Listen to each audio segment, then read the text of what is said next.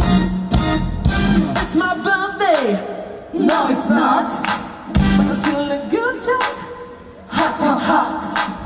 You better want an autograph for you and your friends. We're gonna do it down.